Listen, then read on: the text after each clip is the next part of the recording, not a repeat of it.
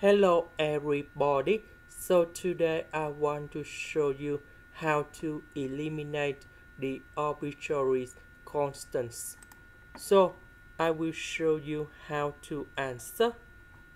The first thing we can use about reverse of complementary solutions. So if we look carefully about this one, we have e to the power of 2x and cosine 3x. That means in this one, we have e to the power of number 2 plus 3i.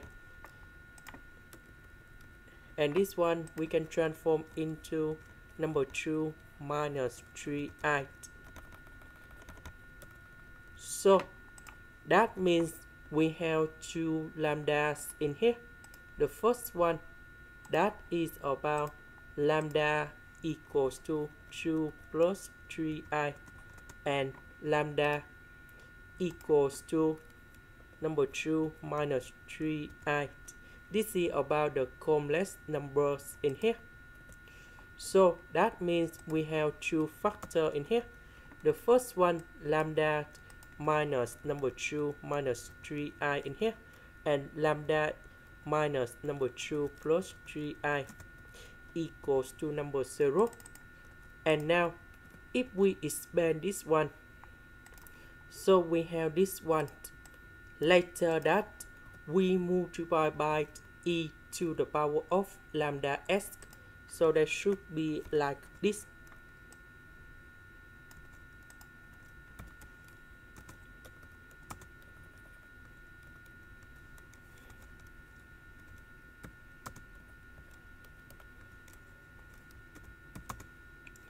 and we know that this one that is about second derivative of yc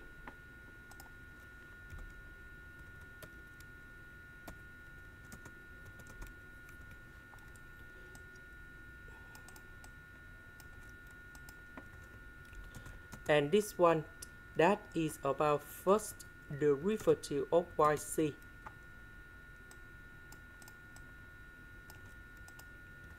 and the last one that is about yc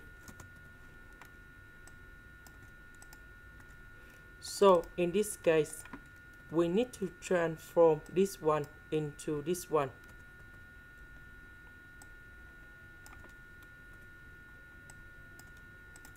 And this is the answer because we don't have the constant anymore. This is the end. Thank you for watching